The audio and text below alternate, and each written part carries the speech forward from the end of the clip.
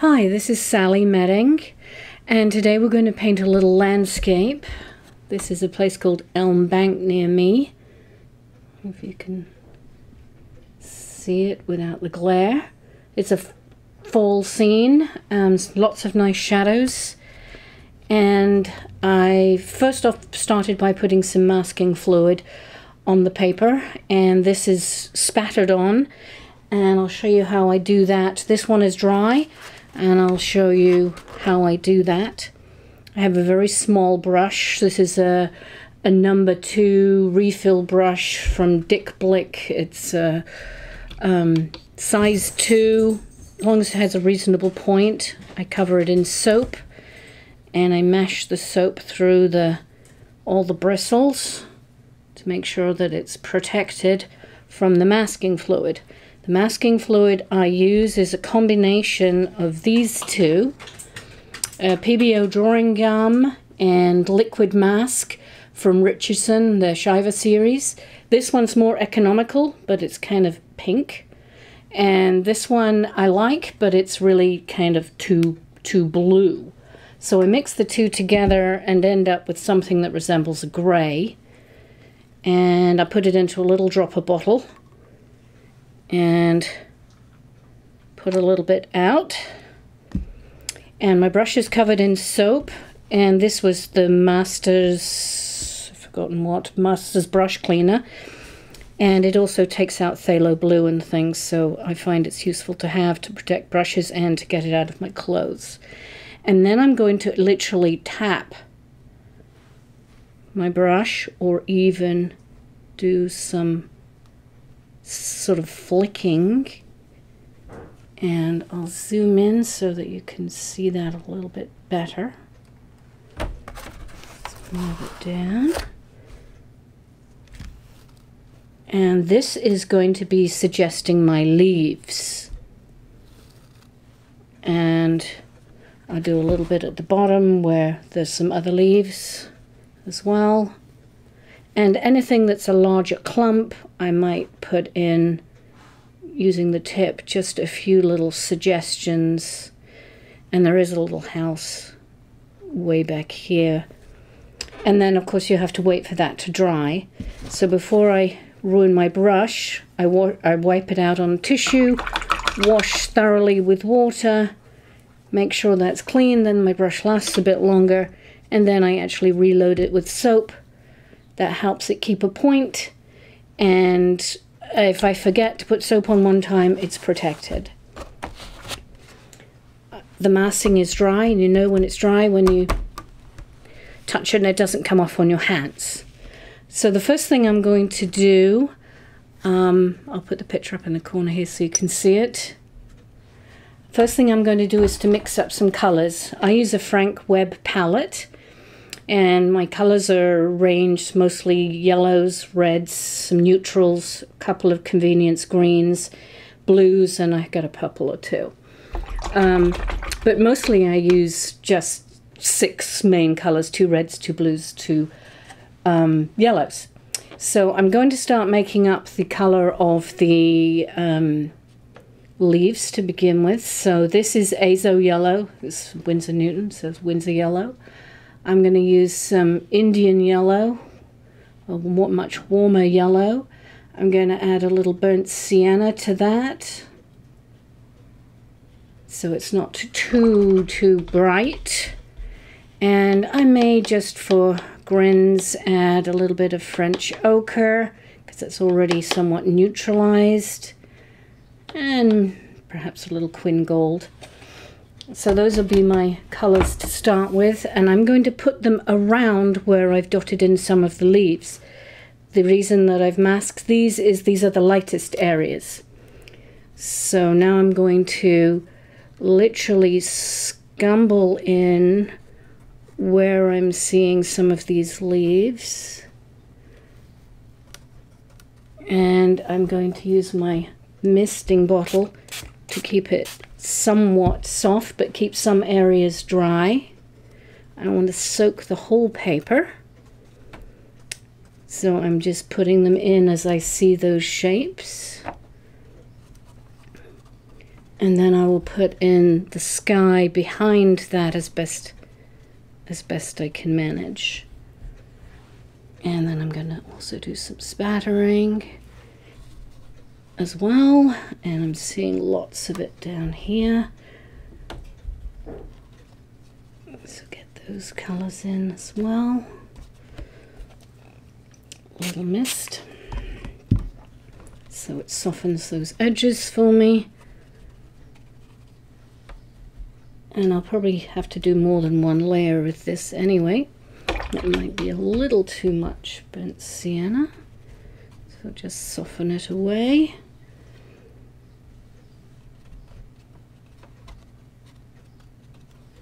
Okay, I started with the yellow first because it's our lightest colour. And there's lots of yellows, so I guess I can pop those in as well. So there's some yellows down here of leaves that have fallen. Just get a little bit in there and also under here.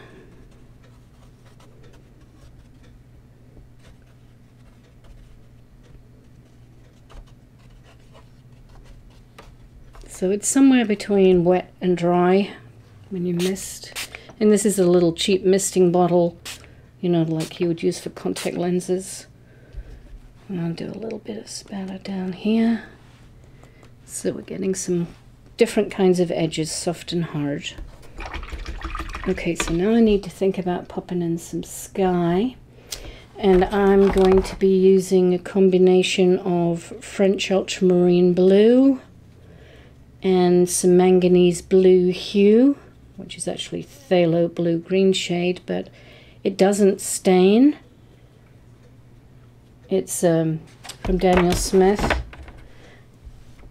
And now I'm going to put in the blue, but there's a gradation of color from darker to lighter.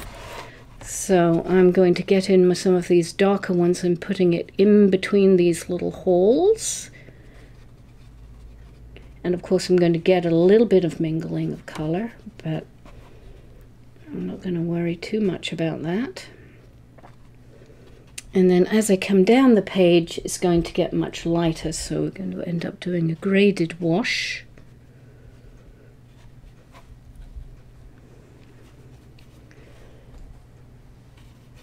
Getting lighter and lighter, some more and more water, until I get to the top of the hill and then I could put the trees on top of that.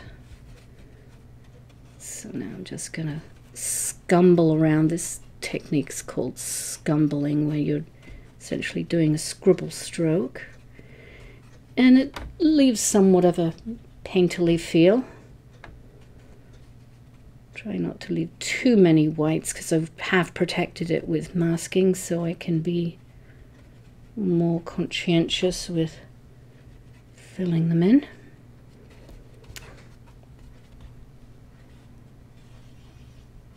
Okay, so that's my sky in, and some of the colors are mingling into the sky, and I'm on a little bit of a slope, so I will make it a tad flatter so it won't move quite as much. And so I'm getting some greens where they interact. And I kind of like that effect. So now actually wanting to work my way down the picture, I find that's the most logical way to do things. So I'm going to go in and put in some of these greens and a lot of this is going to be somewhat underpainting. So to mix my green, I like to do a warm yellow and phthalo blue green shade. And if you don't like mixing your greens, um, you could end up using some sap green, which is pretty similar. So I'll probably mix and mingle those. And I'm going to get this color along here, but I actually want to touch a little bit of the edges so that it will bleed up a little bit and give me a soft edge in the background. And I'm going to go a little bit brighter. So I don't have the same green all over. And put a little lighter area there where the sun is landing on the lawn. And a little darker over here. A bit more phthalo.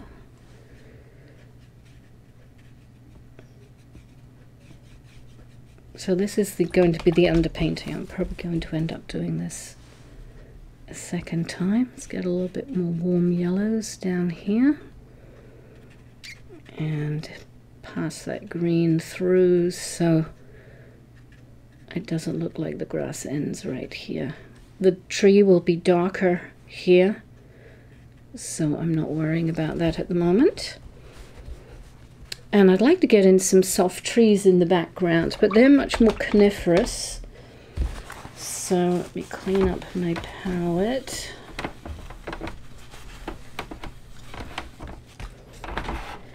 And to make a coniferous green, I like to do burnt sienna and phthalo blue. And it gives me a really deep, rich dark. And you can add a little French ultra marine to it if you want to go even deeper.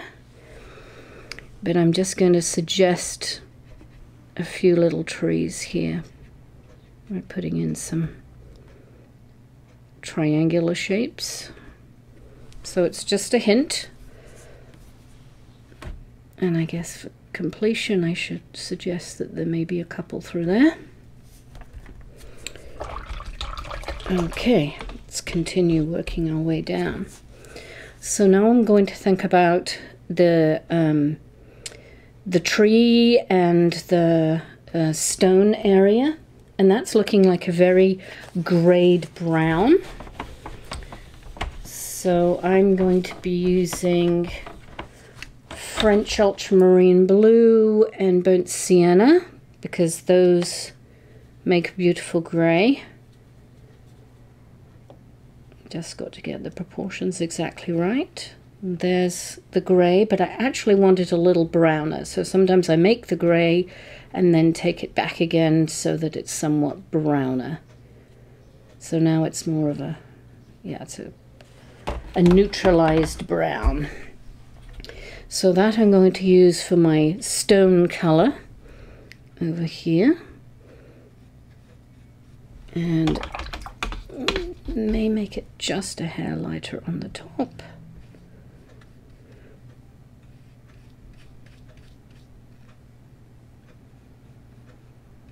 And that suggests where the stone is and then I'm going to put in some more um, foliage suggestion and then pop in that. I'm not sure if it's a bench or a bench or a fence. So I'm using some burnt sienna some Indian yellow and just suggest some of these uh, more of these leaves down here starting to dry. And this has all become very soft in here now. So I'm going to be ready to put in some more colours up there soon. And actually maybe this is a good opportunity. So into the area which is sort of still somewhat damp, it hasn't dried all the way yet, I can drop in some more fall foliage and even a little more spatter to suggest. And then this is where any little spots which are left over can be easily filled in. So I'm wanting to do some more of those down here too. So these are the piles of leaves that get blown to the edge of the road as you enter this conservation land area. and then we'll get in the road. So I'll do a little spattering here. Okay.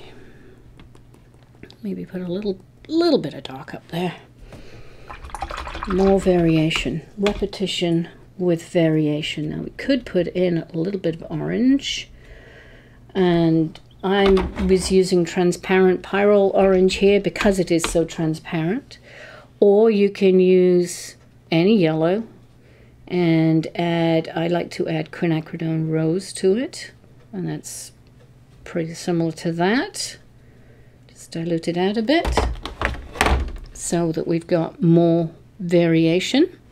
So I'm doing more drumstick spatter. Okay so now let's think about the road. And it's a little bit grayer than the stone wall which we've suggested. So it's just a case of making the color a little bit grayer. So I'm going to start putting that in here now and wet some of it first.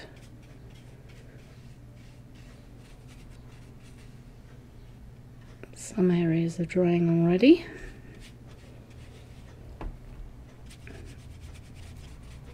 And I'm seeing quite a bit of blue, especially here in the shadows. Get some of those in.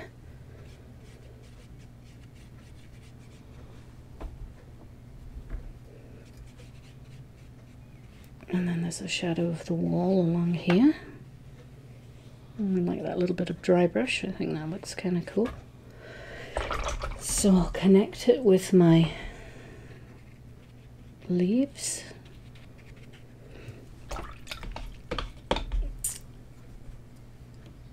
And soften that. That's looking a little bit hard. I don't need to go all the way to the front here. It just gives you a lead into the picture. You don't have to paint to all the edges. So now I'm just softening off some edges here. And I can start thinking about that little bench, or whatever it is, fence. He's a little darker, so I'm doing burnt sienna and French ultramarine blue. Just get that popped in there.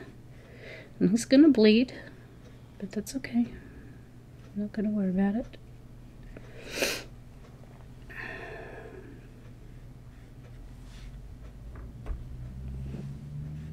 Little bit more blue in there. because I'm seeing some blue too.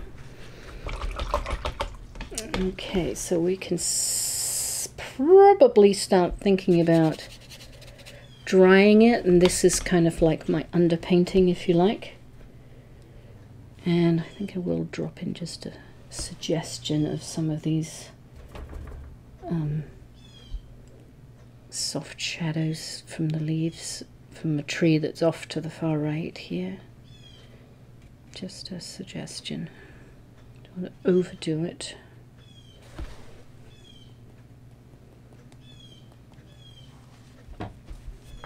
Okay, so that's probably where I'm going to stop for stage one if you like and then I'll dry it and then I'll come back in and do a little bit more. Okay now it's dry and you can see it's quite a bit lighter and I've put a little bit more uh, masking fluid on a few of the spots and a bit a bit more spatter on the trees and down here and I'm now going to do another layer and get the tree trunks in as well. I did see that I got sky where I'm wanting tree trunk up here. So as this painting is completely dry, I dried it for about five minutes on a slow hair dryer. And you can, and then it needs to feel like it's room temperature when you touch it. If it still feels cool, you know, uh, then that's when you, you've got to dry it a bit longer. Here I'm just going to wet a little section here and just lift this blue back a tad I just don't want my tree trunk to look darker at the top than at the bottom. So this is called a level lifter and it's reasonably gentle on the paper. You can see I've lifted that back just a little bit and hopefully when I put in the trunk it will you'll you'll never know that I had a bit of sky in the way. Okay, so first off, I'm going to do a little bit more of my yellows, more spattering for more layers and more depth in my trees. So I'm going to repeat that. And the more layers you do, the more depth it appears to have. So the first layer looks kind of wishy-washy now.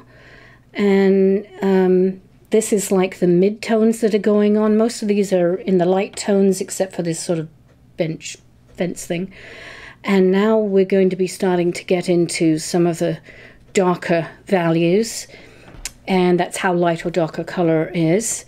It's also called tones uh, in England, but in America it's called values. So the tree trunk is really dark, and the dark against the light of the leaves is what gives you the lovely contrast. And I'm wanting to try and suggest that that is what's going on in my painting by doing the darks behind the lights. So I'm just going to do a bit more of this and a bit more spatter and increase the intensity. Two layers are more vibrant than one in general. And dropping in varying colors is nice. So I'm going to get a little bit more oranges in here now. And I can push the color more than I'm actually seeing in the picture. That's artistic license. You don't have to follow it to the T. I get a few of those down here. Repetition with variation. Okay, so I've got some of those going in. Now I'm thinking about the color of my tree trunk, which is going to be a grade um, brown again. So burnt sienna plus French ultramarine blue. And I'm wanting to go towards the grey blue on the side that is in the shadow. The light is coming from the right hand side. So this side of the tree is going to be much lighter than this side of the tree. So we'll start off by getting in some of these darker values I'm just going over some of the masking. And I can leave a few little spots, just a few extra leaves that may be there and they'll be harder edged. I think the tree actually comes down a little bit around this stone, whatever it is, wall, beginning, actually it's part of a bridge. So I'm just getting some of these values in and I'm going to put some warms on this side because this is where the sun is coming from and put more blues on this side where the shadow is the most prevalent. So we can get those going through and repeat this part up here. Go back to the mid-gray. It's getting a little dark. And get some more lights in on that side where it's catching the sunshine. So we don't want to see the entire tree trunk because then that looks like it's in front of all the leaves. Well, the leaves are only on the back side of the tree, which looks a little odd. So that's why I'm sort of weaving through it and doing the little bit of masking helps with that so that we can do it step by step. So now I'm going to put in a couple here, leaving a few little spaces jump that little section there. So this patch of leaves looks like it's in front. And then maybe oh it bled into my little dots here. That's okay just a few. And if that's too much that one may be too much. Just blot him out gently with a paper towel. So that's suggesting that there is a branch going around the corner and kind of helping to bring your eye around the picture. It's also a compositional tool, as well as being something that actually nature put out there. So I'm just putting in a little bit more blues. And there are some branches coming in from another tree which is out of the picture. So I don't want to make those too dark, but just would like to suggest where some of those are. A little bit lighter, I don't want to get them too dark. Oh, that might be a trunk going off in the background, which is usually a little bit lighter, suggesting it is in the back. So there may be a little something there. And if I'm going to go to some more smaller branches, I would probably go to a rigger brush or a script liner. It's got long um, bristles and it has a big snap to it. It's usually fully synthetic. Um, at least I find that's the one that's got the most personality. It does the most flick to it. So then you can get in your um, suggestion of some some branches that are smaller and just have to think about you know where you are in the picture and if you're at the front make them a little bit darker and if you're in the background uh, make them a little bit lighter and just make sure that they go from thicker to thinner and skip some parts to sort of weaving this through the through the piece. Just gradually building up the, the tree texture. So we're starting to get into the mid-tones now and this is going to require another layer over the top. So while that's drying I'm going to start thinking about this part here the um, undercolor the underpainting for the grass is already in so I'm going to enhance that by doing another layer, which will give it more richness and intensity. So going back to, I can mix my green or I can use my sap green. I'm wanting to get more of a yellowy green up in this section because I'm seeing that the sun is hitting this area more. Define that hill a little bit.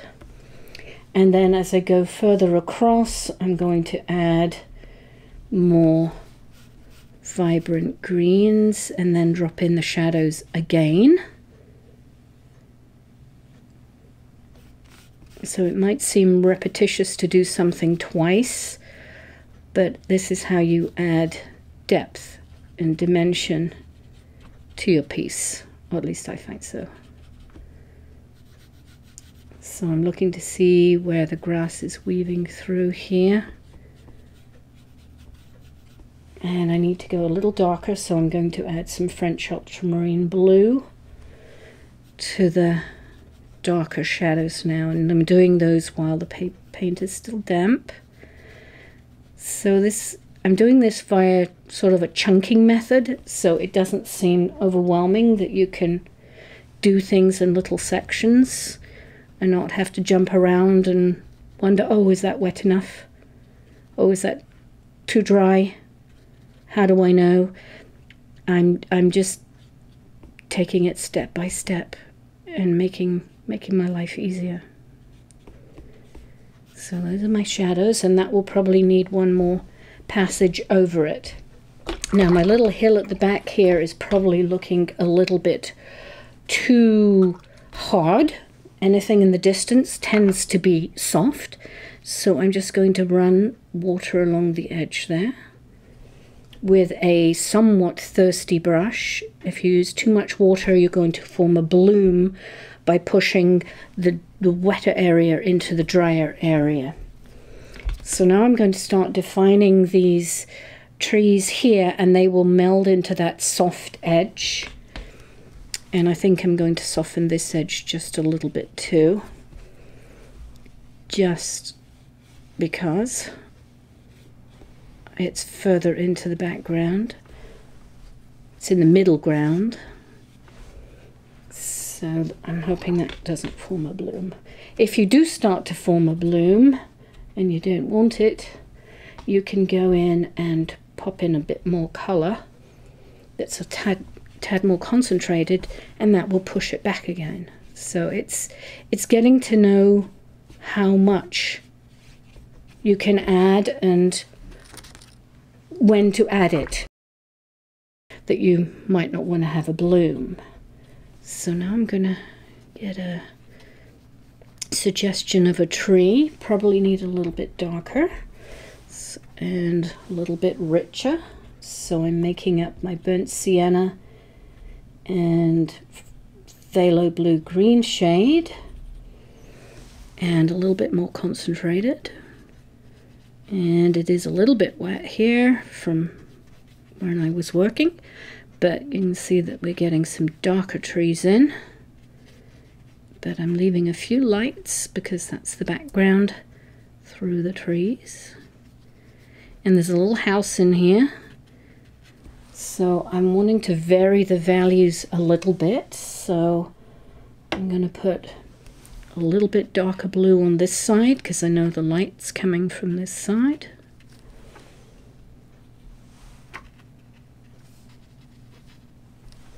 Okay.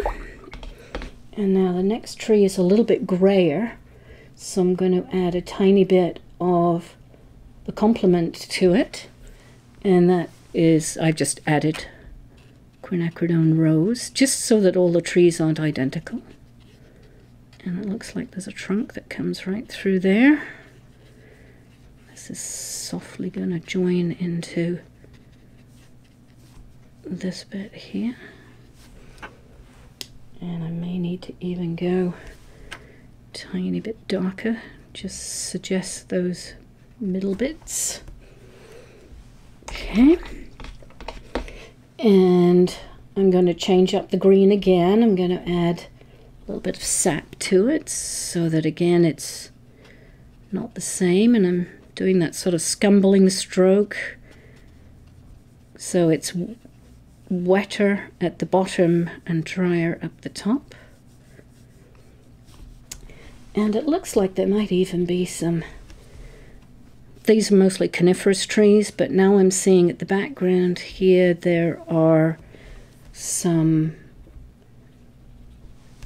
more deciduous trees, so let's pop those in. They're in the background, so I'll weave it in. And there's probably poison ivy growing along the front of here, or some other foliage, so repetition to get some of those oranges over there.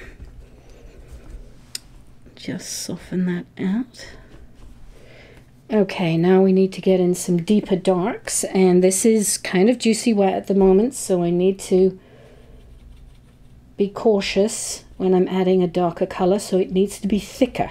If it's thicker in consistency, more like the mixture of cream, then let's use a little sap green and a little French ultramarine blue, and it's pretty thick compared with this one, which is really watery. And because it's thicker, it is not going to move very far. It pretty much stays where you put it, as you can see, but it still gives me soft edges. So I'm looking at that dark shadow. And there's a little bit of it coming over here from those parts. I'm also seeing a nice deep dark around the, the house so those may be bushes in front of bushes. So even more depth going in. And then there's trees off the picture here that are casting a shadow on the paper. So sort of scumble those in as they come across. And another one down here, a little bit shorter. And let's vary the colours a little bit. Don't want it to be all the same. And that will define my shadows somewhat. And I probably will end up doing a little more to them. So in stages. So we're putting in pretty much the mid-tones now of the painting. So there's that shadow going off there and there, but it's a little bit drier over here, so I'm just going to moisten it. So those are the shadows coming in from the left. Okay, so I'm going to let that incubate, cook, and then I'm going to work in this section. and everything is still really light and the tree has dried but it's still not dark so it will need one more one more coat and I think I'm going to do the road again and particularly start to put in the blues that I'm seeing in the shadow part um, on the on the ground cast from the trees outside the picture. So let's start making up a grey. Just gonna clean my palette really fast. I usually use just a paper towel that's cut into quarters and that's what I use to tap my brush dry as well. So let's make up a grey again, burnt sienna and French ultramarine blue. And this time I'm going to add a little bit of quinacridone rose. I'm trying to get to a more of a, a purplish grey. So I think that will suffice. And I'm seeing that it's definitely lighter there so uh, and lighter here. So there's a gradation going on, going um, from bluer to warm, so cooler to warmer. So I'll try and get that in at the same time. So I'm going to put in a little bit more of the yellowy oranges towards the front, mix that with my greys. So we're getting these colours at the front here now. And as we work our way back, I'm going to start getting in these much darker values. Much more blues are going to go in now. These shadows coming across. Got to connect them to make sure they're in the right place. So that's the actual stone thing. Along here is going to be quite dark. I'm going to add a little bit of ultramarine violet. It's just a tiny bit more violet than what I had. Make that edge a little wiggly. Keeping these shadows going fairly horizontally. They actually form a, a fan shape, somewhat like that they're not perfectly all horizontal. This one is actually sort of at about 8.30 o'clock, if you can imagine. And then this is at 9 o'clock. And then these ones way up here, maybe almost at 10 o'clock. So just taking that into account helps you to get the positioning of the sun. Okay, and I need to get this nice deep dark one here, the 8 o'clock one, but my mixture is too light and too weak, so I need to make it thicker. And I need a little bit of violet in it too. Okay, so now I can get this shadow in here. Blend that color over here softly.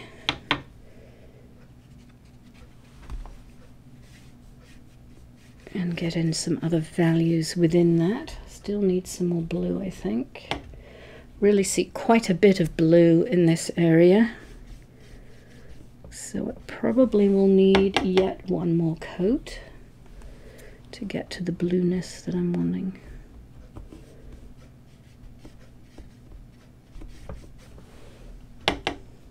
So it's just literally horizontal strokes at this section and now getting to more the 8 o'clock down here. This is a little bit wet so I may have to wait for that to dry to get a little slightly harder edge. Or I can put in slightly thicker mix and then it's not going to bleed quite so much these values have got to go quite dark so while I've got some darks in my brush, I think I'm going to make the wall a little darker too, especially on the dark side, this side. And it will be reflecting some of the colors around. So we'll get that in. I'm going to drop in a little bit of orange for reflected light of the leaves that are probably, oh, that's almost dry brush get some oranges underneath that and then drop in the greys over the top, leaving that little top section where the light is and make this a little ragged at the bottom where the leaves connect. And then there's some shadows on here as well. Seeing a little orange reflected here. Might as well put it in if you can see it. Put it in. So that little bit of orange in there just it just makes the shadows that just that bit more interesting. So I'm just trying to straighten that out a little bit. Okay. Alright, so that's suggesting the wall. The end of this has got to definitely have that slightly orangey glow to it as well. Alright, this is getting to bleed a little bit too much. So if it's doing that, I'm going to dry my brush, really dry my brush. And then this is where you can actually control the bleed a little bit. By doing a thirsty brush. I can see that my shadow is bigger here than it is there, so this needs to be flaring out a little more here. And then these dappled lights again I think I want to go a tiny bit more violety. So permanent rose, quinacridone rose, or ultramarine violet. I like ultramarine violet because it granulates. And I'm getting in some of the directionality now of these soft little leaf shadows. So as this starts to dry, I can drop in a few of those just suggesting more and more of the detail that's happening. And the shadows do actually connect over here too, so I'm going to repeat the shadows, but they're not going to be grey because they're on the orange leaves, so I'm going to make them a brownish and add some of the grey to it. So it's a much more orangey colour to extend the shadows. So I didn't mean to overlap it. So this is me doing the shadows now over the top, connecting to this. This is the shadow of this big tree. So we can start getting that in. And then there's some shadows from this bench. And shadows from other trees behind here. Just suggest a few of those. And maybe even back in there. And then this is all in shadow here, but there is a passage of much warmer light coming through just in front of where this stone is casting, the stone wall is casting this, um, this shape here, which is kind of blended into that. But this darker shape here is, is that reflection.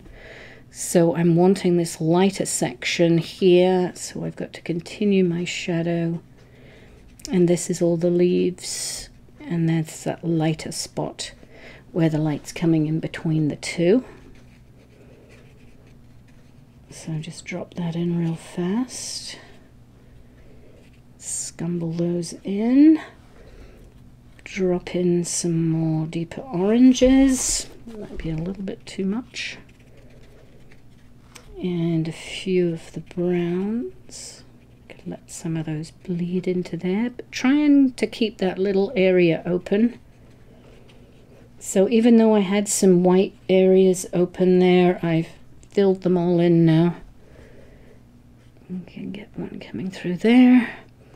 Okay, so there is quite a light part here, but I am seeing a few shadows. Whoops, not in brown though. Need to get those little fellas in. So we can get those up here. And they join up to those. So a little bit more purpley. The shadows all don't have to be exactly the same color because they probably aren't. So that's going off into the road over there. Okay, so these have got a little bit out of hand and I need to shape those a little better and have it so that it's got more horizontality. It's feeling I like a dop dop dop and I shouldn't do that. It needs to be more in this direction to help those shadows feel like tree branches that are growing upright on the edge of the paper that we can't see. So I'm just going to drop in a few other colours. Good opportunity to do so. So just touching up those areas. Okay, so this area now here needs to be much lighter, so I'm going to get back into the oranges. The shadows are not the same colour crossing the leaves as they are crossing the road. Make sure I stay in line there. So that's a tree. This tree is outside the picture. This is the wall, and then this is my tree of that one. So I guess we can define him just a little bit better. Not, not quite that color, a little bit bluer. I want to really push these blues because the blues are the complement of the orangey leaves and that's what really wowed me about this scene.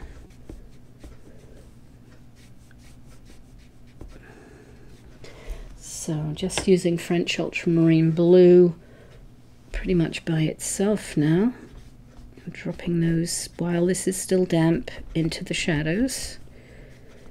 Letting those shadows disappear. Let's suggest a few branches or two. Okay. So I'm still not liking this one, but it needs to go darker and hopefully it won't bleed now. Especially if I make a thicker mix. Because it needs to go darker anyway. And I'm going to put a little bit of reflected light in it as well. There's a bit of orange in it just for respite for the eye. Makes more interest so take that color around the corner into these areas so I've got a bit of this line here. I'm not sure I'm wild about that. Oh, that's my special white I need to protect. Don't want to go in there. Bah. Smack fingers. Okay. So I'm feeling that's looking better now. Alright, so might be time to do a little bit more spattering on my leaves for even deeper values and repetition. So I've dried it for the second time and I started to soften a few edges with a little small scrubber brush that might have got a little harder than I would have liked. And this one that was giving me a bit of a bit of grief um, I'm just very gently scrubbing with these extremely small bristles. I don't know if you can see on here, but they're very short and they're, and they're pretty soft um, and there's lots and lots of them. And I can clean up any edges that don't look quite as nice as I would like, just with a little bit of water and very gently skidding over the surface. And sometimes I can just leave the water there. I don't even need to touch it. And just softening away any hard edges that I'm not completely happy with. This is kind of like the watercolor eraser. And um, those two little bits are wet. I'm to not worry about those for right now, but I'm going to remove all the masking fluid. And that's going to make a big change. And the masking fluid can be removed with... Um, a rubber cement pickup. Um, it's kind of made out of natural rubber, I think. And, or you can take some masking tape and roll it around your finger sticky side out and you can actually then rub over painting I find that that still gives me friction burns. I still feel that on my fingers so I prefer to use this fella even though it gets to look a little grubby. You have to be sure your painting is completely dry. And then you get these lovely masking fluid boogers as they're called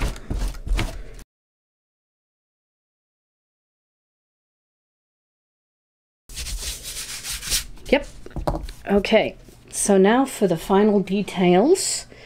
And I need to get my tree much darker. I'm looking at my my photo for a second and I can see that the values are really dark in the tree behind the leaves.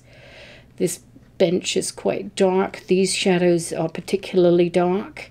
And the wall is fairly dark also. And these few little ducks here in the shadows. So it's just pumping those up a little more than I've got them and popping in a few of those branches. And hopefully we're on a home run now. So I'm going to also get this to go back into shadow more. It's too it's too bright still. It doesn't suggest it although I've got some light coming through here, it still isn't dark enough. So what I need to do is to go over it with a glaze, and a glaze is a thin layer of color. And essentially, it's like a second wash, but it's usually just modulating what's underneath, making it a little darker or warmer or cooler, whatever you need. And that's what I'm going to be doing. So I call it a glaze, though some people still call it a, a second wash.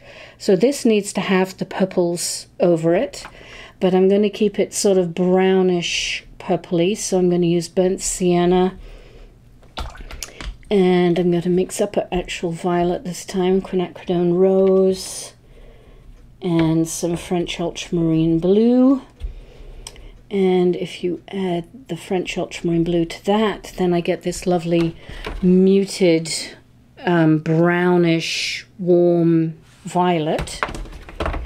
And I think if I pop that over this section here, it's going to push this light area further back in space and then make this look like it's in the shadow of the wall. That's my intention anyway.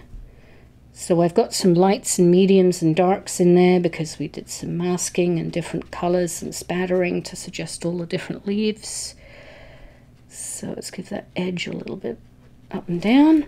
So now that's making sure that that light's really coming in in between there. And then I probably need to glaze the wall as well, especially this back side of this tall stone post. Getting another dark in there. And you can do as many layers as you like now, but I find three is usually my minimum. Um, so that definitely needed to go darker. Probably still needs to go darker still. It's in the shadow of the, it's in the light there, in the reflection of my lamp. Okay, so I think I'm going to define this uh, another line here and down here.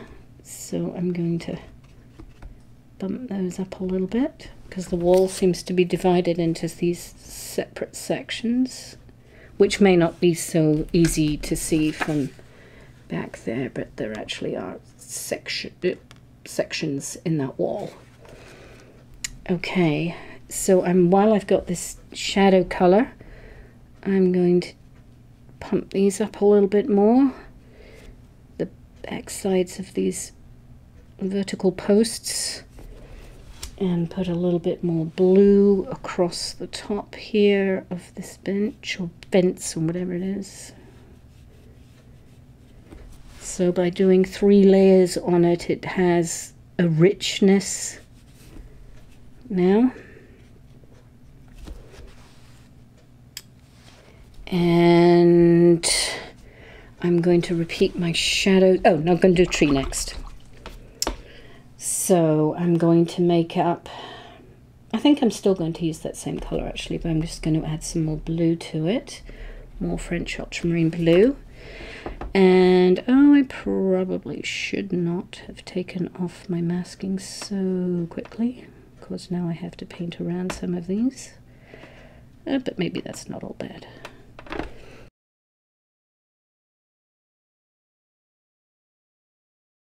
Okay, so now I'm going to swap to a slightly smaller brush back to my rigger. This is a number four um, rigger and pick up this deeper color and can get in some other areas that are, I'm going to suggest this one coming down through here.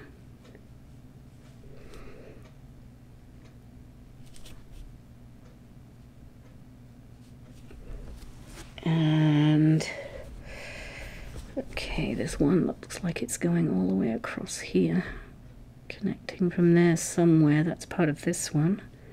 It goes down here. So we're just filling filling in the details. Okay, so there is a, a branch coming in from another tree. It looks like it goes behind. And we'll weave him through.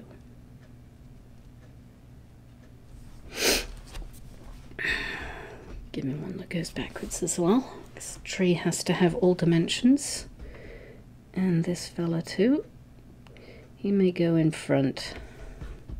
So let's make him look like he goes in front. There we go. All right, so I think I'm going to put a few more darks into this and into these shadows and show you how to soften a few edges. I'm finding these are maybe a little bit too hard edged. I'll soften those, but I'm going to put a few more blues. Going to really push the blues now in my shadows. And blue, blue violet is somewhere where I'm putting it in. So I'm going to be putting it wet on dry even more. Thicker combination of paint. And doing some loose, almost dry brush.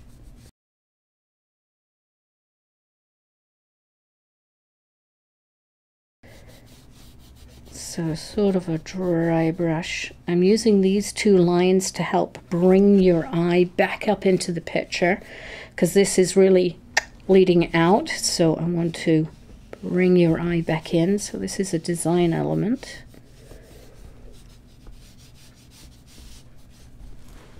And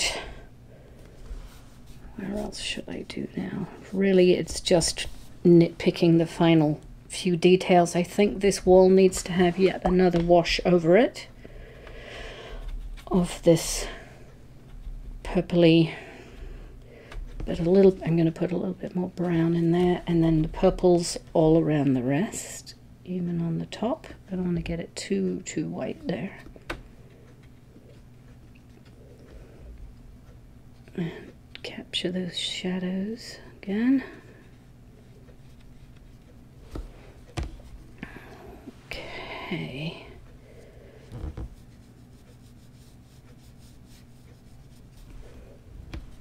Alright, so I'm going to just soften off the uh, treetops and make those... I thought I was going to like them harder, but I, I don't. So I'm just using my little scrubber brush, scrubby brush.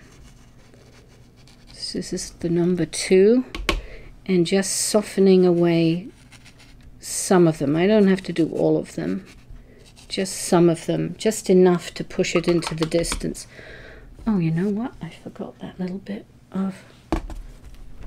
There's my little house in there that I was going to put in. That's part of the Bank house. Forgot about that bit. Okay, so I guess I need to develop that now. And the house is kind of a little bit of a reddish brickish color. So I'll mix that up with a little red and a little brown.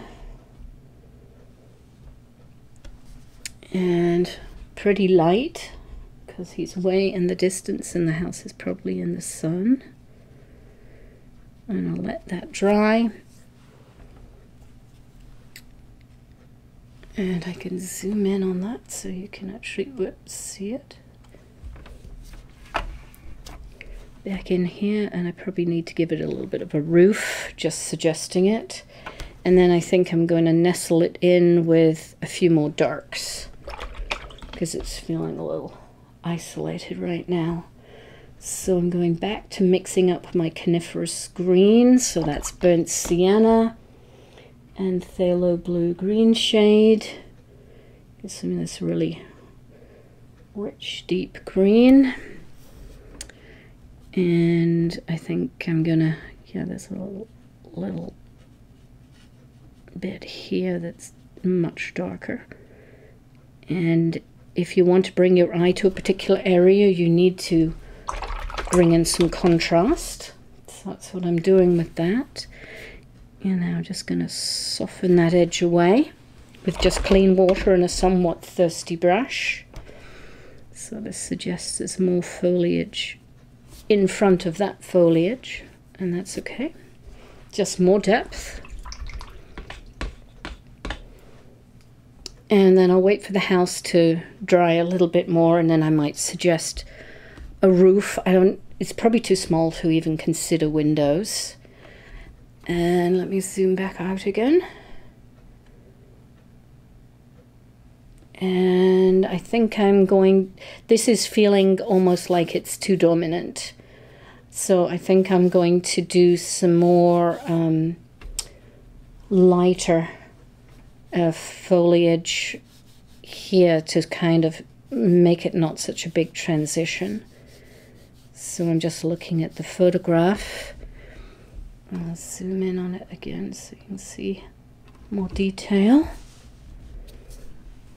And put in some of these soft leaves, shadows, cast shadows over here and then I'll probably soften those with a little misted water just to mush them into the foreground. I don't want to make it look like it's got the measles though. Okay, I think I'll add one more tree in there and maybe one more branch. Okay, where's my little mister?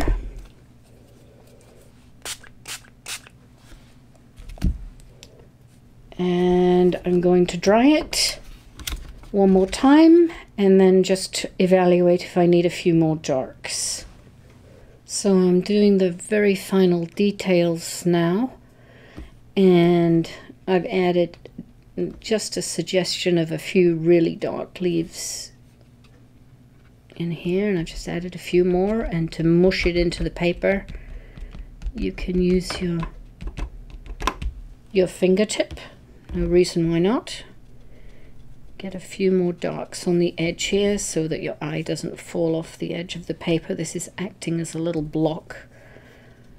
It's again another little compositional useful tip. And what else am I going to do? I think still a few more branches need to come in. And I think a little bit more variation in these leaves. But you could go on and on and on nitpicking, and I'm not sure that I want to do that, but let's zoom in. And so you can see that these leaves here look a little bit chiseled out. So I'm just going to add some variation in them a little bit, just so that they don't feel quite so samey. Everything's got to have a little bit of detail. So that just makes the tree match this part up here and you can still add little more patches of color up here. I want to overwork that um, although I'm I'm I'm actually liking this little section so maybe we'll put a few little orange suggestions, leaves that are already turning. And then further down here, um, I masked out a few little areas, so I'm going to pop in the odd leaf or two that's blowing around on the road here. So I paused for a second after I'd finished those little leaves and realized that this was just too dark. And this perhaps too, it was forming this T here, which I wasn't happy with. So I lightened this area considerably and added some more dappled light, these leaves, and that helped that feel a little lighter because this became a little bit darker. And I went ahead and signed it. And what other last little tweak was I going to do? Um, I'm thinking I'm going to bring in a few more little bits of green. I've got green in this wedge through here and don't have really any green in the bottom of the painting. So I'm just going to scumble a few just to repeat that colour. Up here is a little bit of sap green and French ultra. Just a couple of those leaves maybe fell and they didn't turn all the way green. Just echoing that colour. It's a good compositional skill. What's upstairs has to be downstairs and what's downstairs has to be upstairs in terms of the colours. And then the bench I wasn't completely happy with either. And I essentially lightened that a little bit and made it look as if the light was landing on it and put some shadows across the top of that, bringing that as um, more as my focal point um, to the bench. And then the little house way, way in the background was going to be my focal point, but I kind of forgot about it along the way. And now I went back in and did a little bit of play just to suggest a roof and two windows very lightly. But I'm thinking that isn't my main focal point any longer.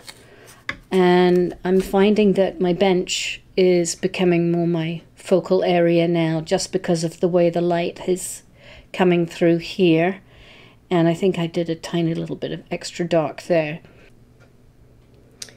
So I waited a couple more days and did some more re-evaluation. I put another mat, I put a clean mat around it, and then I added finally some more leaves here and just nibbled into this edge to soften it a little more.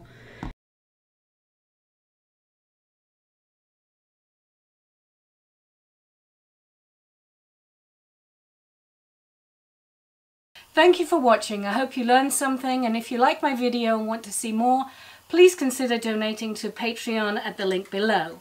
If you'd like to see some of my artwork, check out my website at the link above. And if you have any questions, please contact me at sallymeding at gmail.com.